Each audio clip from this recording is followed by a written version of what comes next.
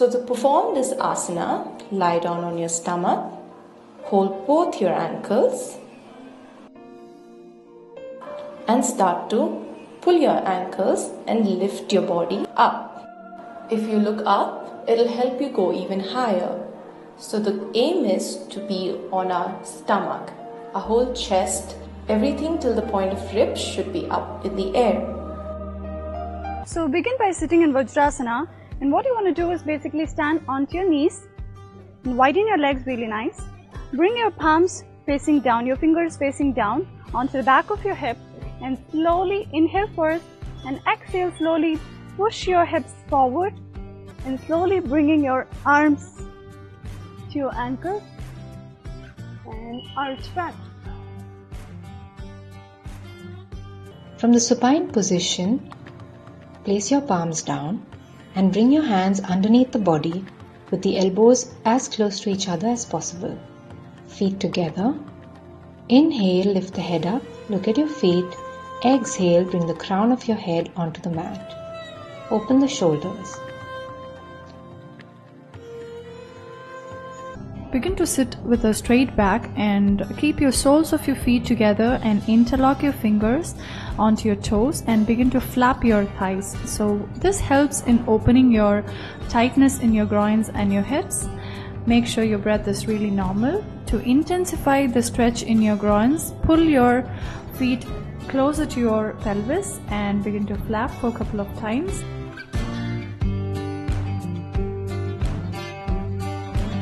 Gently place your hands down in between your shoulders and your pelvic bone. Open your legs slightly out. Inhale and then come up. Now lift your navel above the ground level. Push your pelvic bone down. Protrude your pelvic bone down and then elbow straight. Push the shoulders back. Drop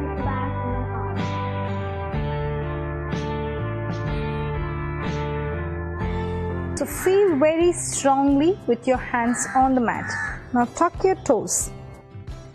Make sure you engage your navel and slowly lift yourself up. When you lift yourself up, your focus is to lift your hips back and up. So lengthening, lengthening your spine. Keeping that position of your spine completely straight, you're gonna press your heels into the floor. Sit up nice and straight. As you inhale, stretch your hands up, lengthen your spine, make yourself taller, almost trying to create a space in your spinal cord. And as you exhale, keep your chin up and bend forward. Extend your spine, hold on. If you can't hold your feet, just hold your legs wherever you can reach. And take a deep breath in, and as you exhale, drop your forehead down. For Vajrasan, you sit on your heels. Or if I have to show you, you sit on your heels like this. Your toes flat, your palms either facing up or down. Parshvottanasana. So you're gonna spread your legs about three to four feet apart. Square your hips to face the front. Straighten both the knees out. And bending down, you're gonna place your forehead on the front leg.